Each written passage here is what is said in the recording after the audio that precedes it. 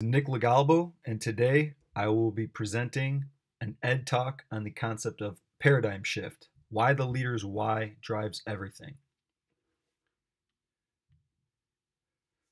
So, a little bit about me before I jump into this concept. Um, I work at a high school in Chicago, Illinois called Lane Tech High School, and I've been very fortunate to uh, work as an English teacher, uh, basketball coach. I've now been the head basketball coach of the program for the past 12 years uh, and now I'm, I am in year three of being our school's athletic director.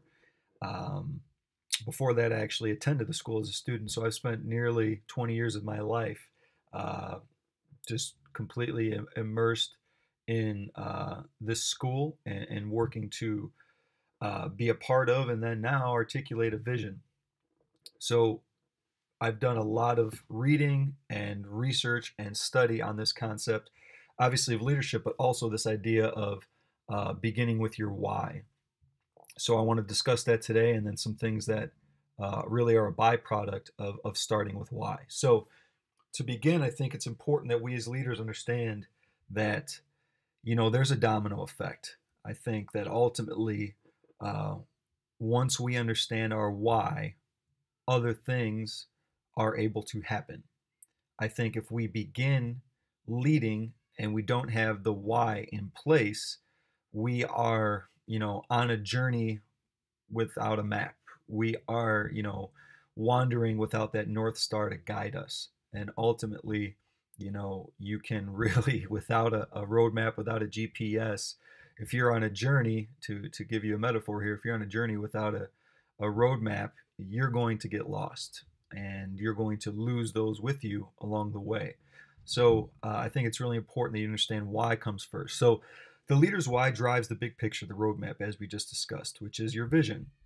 And then I think ultimately the vision drives your day to day, which is your mission. And that mission and how that all feels really, uh, at least the way I define it, is, is the culture, which is a living and breathing thing. Um, again, your day to day interactions, living your mission and culture, are dependent on articulating that vision and living that mission and creating authentic relationships. So then that domino effect continues. Authentic relationships are dependent on trust, truth, shared experiences, and shared beliefs, which all stem from creating a shared buy in to the vision and mission. So, again, ultimately, any organization, business, school, etc., is going to have you know different offices classroom teams things that make up the the organization and that is all driven by the leader's why. So, again, starting there, let's continue to look at all this. Um, before we, we talk about how this all, you know, you know, starting with why and that concept, I think, you know, if if step one is your why, really that that precursor to your why is, well, what is your purpose, right? And uh, in 15 years of teaching English and coaching basketball, something that I've done is have my students and players reflect on the word purpose, obviously what they believe their purpose is. But before we even get there, we talk about what does the word purpose mean? And in 15 years of journaling and discussing, uh, the major takeaway and the definition we've all come up with over the years is, is just simply purpose is using your passions to serve. Say that again. Purpose is using your passions to serve. So starting there, um, I've been able to to find what I believe my purpose is, uh, and I've really, you know, just a quick time out here. I think having your students, players, those you lead, discuss their their individual purpose and how that correlates to being bought into the vision uh, of the organization you're leading is a very powerful conversation to have. And again, want to create shared buy-in. Wow, what better way to do that than to have those you lead discuss why they want to be a part of something that's bigger than them and how their purpose impacts the organization. So, again, the leader's why is directly correlated to the leader understanding and believing in his or her purpose. So, now continuing on, and again, the computer's a little slow here. Come on, next slide. There we go. Skipped a few. Okay. So again, your purpose informs your why. Here's just a small example. Uh, I kind of took the steps, the domino effect, if you will, that I just laid out in slide one, and I just I'm making it kind of in a personal example here. So, example, what starting with why looks like. For me, taking that definition of using your passions to serve for the word purpose, the way I define my purpose is simply I will use my passion for my faith, my family, leadership, mentorship, knowledge, and the game of basketball to serve and to impact lives. Note, purpose informs your why, and your why drives your vision. My personal vision statement is I will be a warrior of the light. Uh, and I will discuss that a little bit more at the end of the presentation. My mission statement, again, how I'm going to live day to day and how I'm going to act, I will stand and fight for what is right. I will impact the world through service and in sharing my passions, and I will be a lifelong learner. So, now how do I take what I believe my purpose is as, as a human being and my vision and mission statement for myself and now apply that to, for me, uh, the Lane Tech basketball program, which is the organization that I get to have the have the genuine privilege to lead. So here's the application, right? I take my purpose and now I have to articulate a vision, right, for Lane Tech basketball. So I take my why and now I articulate that to the organization. We will use the game of basketball to positively impact lives by doing things the Lane way. Quickly, just to show you what that looks like, if I can pull this up real quick. The Lane way is something that I've defined and what that means. I think when you have keywords or things that you define for your organization, you have to put it into a definition. You have to make it real and tangible. So that's a snapshot of what the Lane Way means for our school. Back to now the presentation.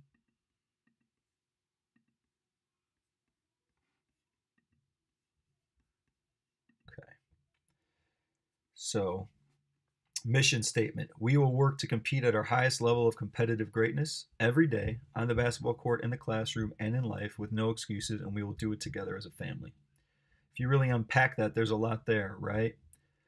Um, we're going to compete at our highest level of competitive greatness, right? We are going to do that on the basketball court, in the classroom, and in life. This isn't just about basketball, it's bigger than basketball. It's about shaping and molding the lives of young men through the game of basketball. We will do this with no excuses. We understand life's not fair. No one said it would be fair. You have to find a way. We will do it together as a family. And we talk about what that means a lot.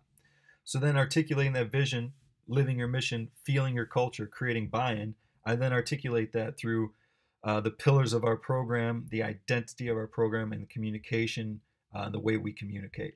If we have time at the end, I know I have, I have about 20 minutes. I'm already on eight minutes here. I will show you exact samples of what that looks like. But for now, I want to just continue on because this isn't about my why. It's about, you know, let's discuss how this all goes together. So this is a, a, example I took from from a very powerful leader in our world today, Simon Sinek, and he has a book that is actually called Start with Why. Uh, I've read the book and obviously uh, listened to his TED talks and just some very powerful takeaways uh, for for all of us in leadership. So you know the idea that you know Simon Sinek discusses this idea of the golden circle and and really what the paradigm shift is in today's society too many organizations and leaders begin with what they're going to do instead of why they do it. You know, the key is not to focus on the product, but the process. I know that's so cliche, but it's very true. Got to be present, got to focus on the process of every day, and that is what's going to create a product. Um, it's it's driven by why, not what. So, Sinek discusses this concept in his book. Start with why. Um, some great examples he uses, like you know the organization IKEA, which is thriving, right? Their vision discusses nothing about the furniture they create. It doesn't discuss the what at all. Their vision statement is to make everyday living better for the many people. I remember hearing that and just thinking that was profound. And I actually went into a quick study of big businesses that are thriving and what their vision statements are. And I was so like blown away at how the real successful organizations, their why is really about their why. Their vision is about their why. It's not about what. It's not about the the product that they're selling. It's about you know why they do what they do, and then the the what the product is is really just comes from living that why. You know, he talks about the idea. Martin Luther King Jr. He had an "I have a dream" speech, not "I have a plan" speech. You know, the idea that the dream is the vision that he wanted to articulate, and he lived that vision. He didn't come out here and say, "Here's what what what you know. Here's what we need to do." What we need to do. He talked about the dream and the vision, and created a followership. Um, and profound leaders, that's what they do. I think leaders have their why drive how and what. So, again, a great book to read. I would definitely encourage all of us to take a look at that. Uh, going on to the next slide. And again, computer not jumping right in. It will take a second here. There we go. So, real relationships, real people. As we discussed, you know, your your why is driven.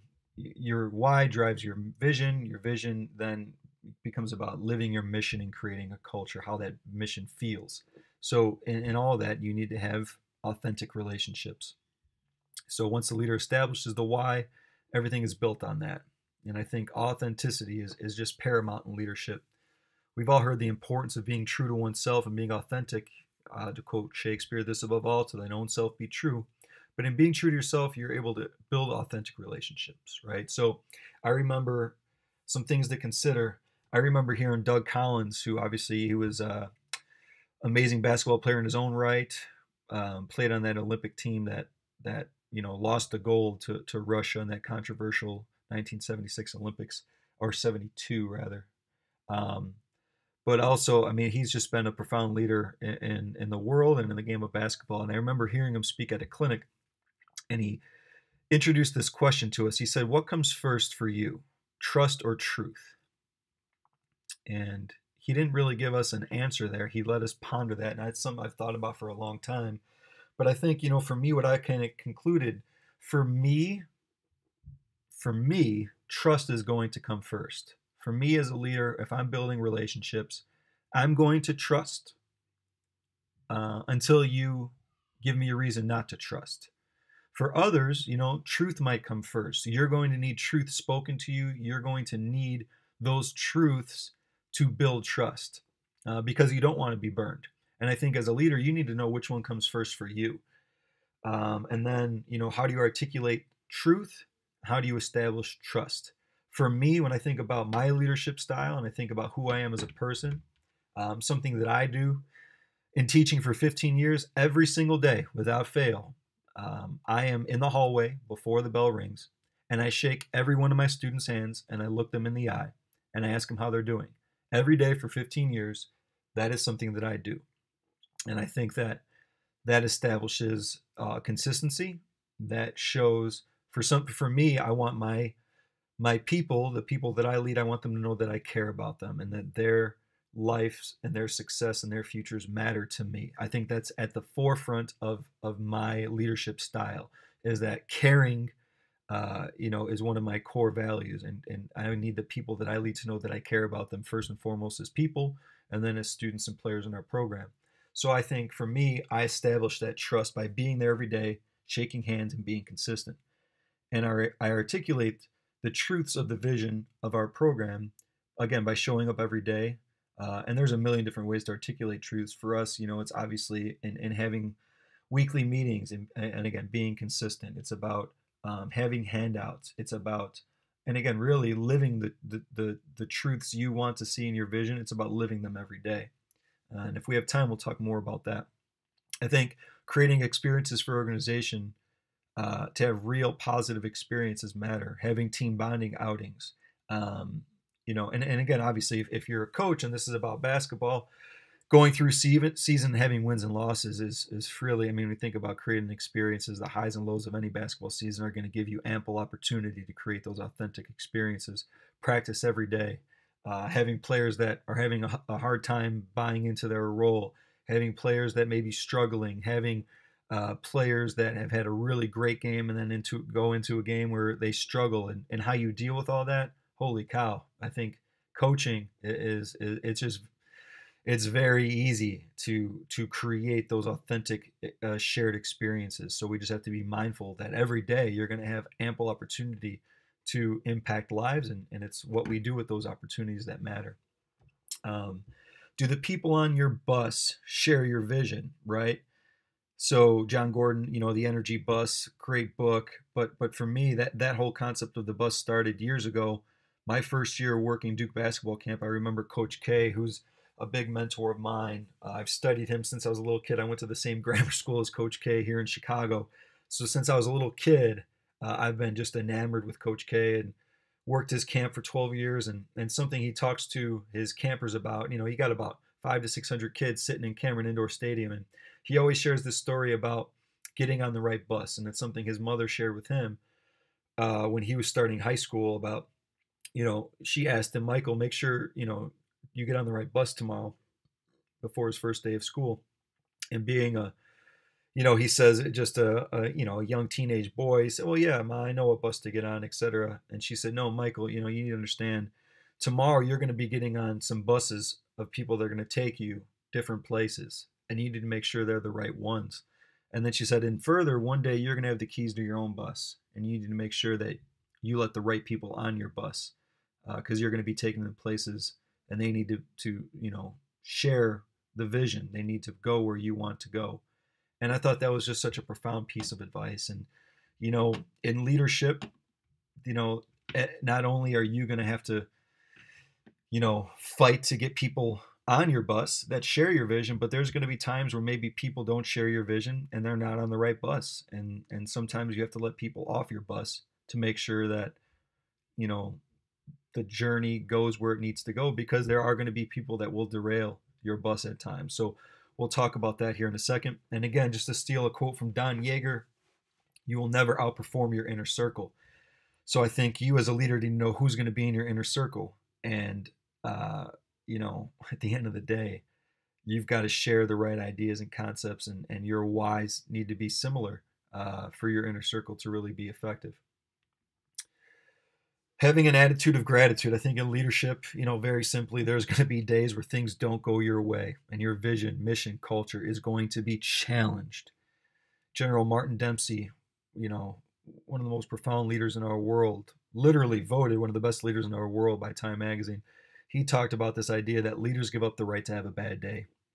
You know, you're going to have things that happen to you as a leader, and you're going to have to go out and you're going to have to say some things that you know sometimes they're going to hurt those you lead and and sometimes contradict things and and you know at the end of the day you have to be honest and forthright and you have to stand up for what is right and you can't let that impact your emotions and you can't have a bad day as a leader you know? And again you have to fight for your culture every day at Doc Riversism. Uh, in these times keep in perspective we must be in touch with our why and feel that appreciation. So i started studying this idea you know and and, and truthfully it's scientifically proven that gratitude and stress cannot coexist.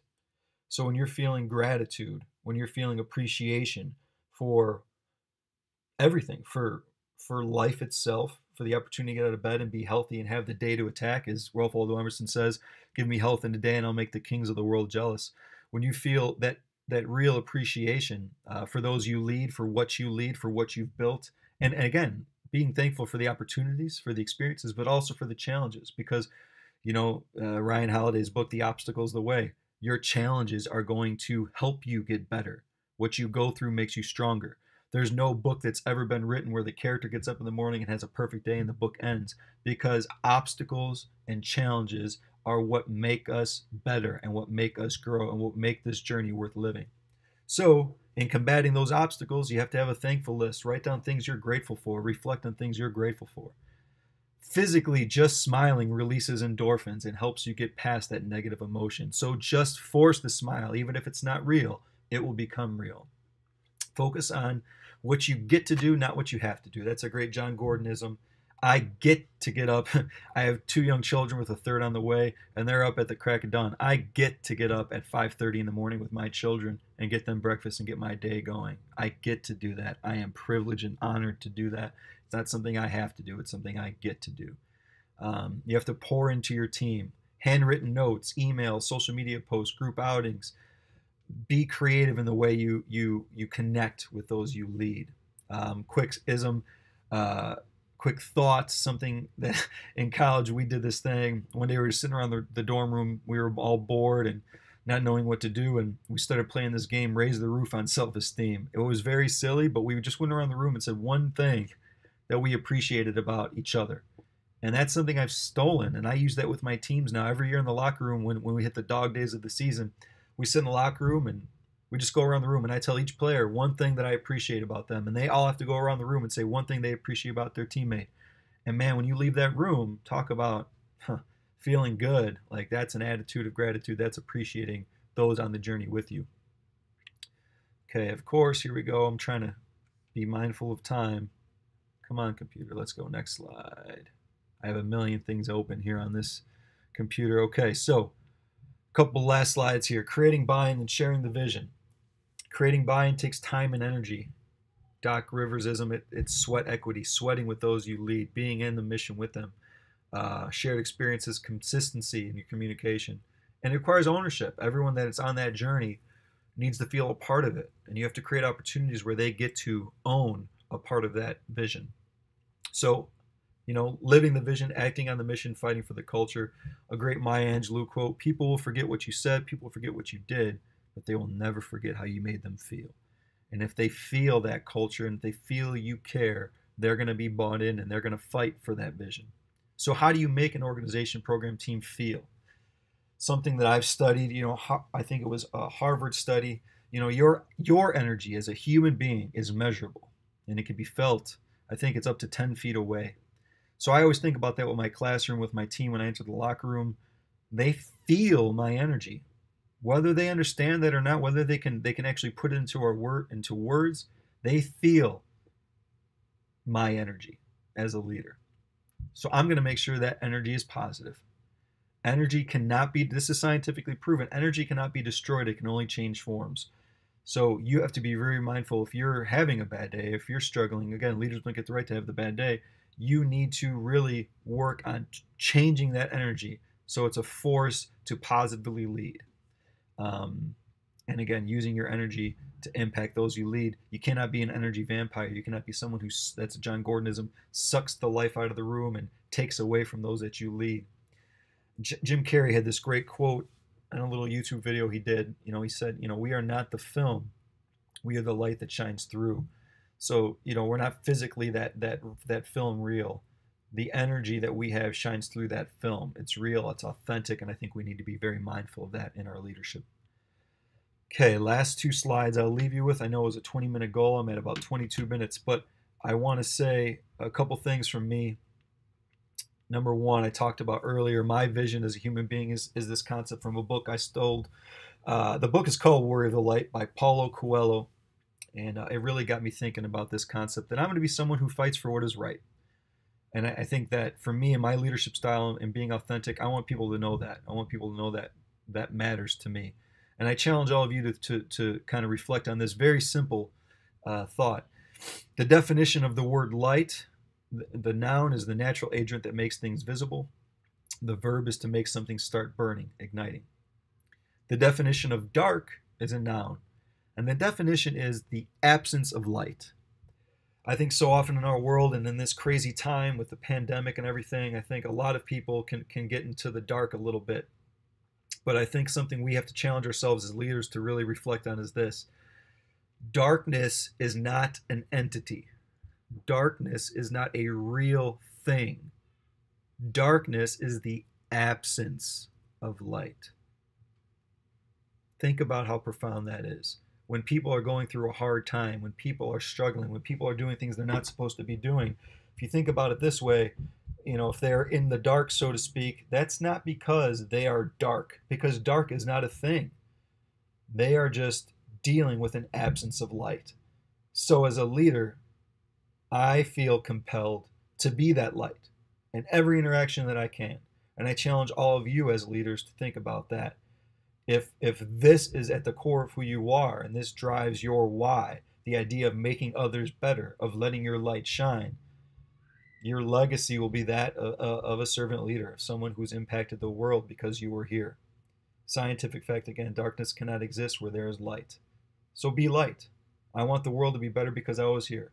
That really drives me getting up in the morning. And, and finally, one other concept that I, I, just feel compelled to share from a book called Chop Wood Carry Water by Joshua Medcalf. This profound quote that I just love because it's hard as a leader. And, and I just challenge you to think about this. The grass is not greener on the other side, the grass is greener where you water it. We always hear, you know, the grass is greener on the other side. We compare, we look at what other people are doing, we get jealous. As leaders, we get derailed. We see other people leading and things going well for them and we think they got it all made in the shade and things are working out for them and why not us? Well guys at the end of the day the grass is not green on the other side. It's greener where you water it where you invest where you put your energy. Are you living the vision? Are you acting on the mission? Are you fighting for your culture? Again be present be where you are and, and good things will happen and again, comparison is the thief of joy. Stop comparing your leadership and what you're doing to what other people are doing. Focus on what you're doing. Keep your eyes on the prize. And those that you lead will be better because of it. Um, another great thing, Jim Carrey from that same video our need for acceptance can make you invisible. Don't worry about that. Do what is right, help others. Um, you know, again, from that book, uh, I mentioned earlier, The Obstacle is the Way. Really, life is about three simple things having the right perspective, acting on that, and having the will not to give up. And I think, you know, we don't need to worry about being accepted by other people. We need to do what is right, what we believe is right. Uh, real competition is against yourself that from the day before. Beat yesterday. And, and again, you know, sometimes you're not feeling where you're, you're getting where you want to go as a leader. Well, then maybe you need to art- re-articulate that vision a little bit, change your goals, or you need to work harder. And at the end of the day, that's really what it comes down to.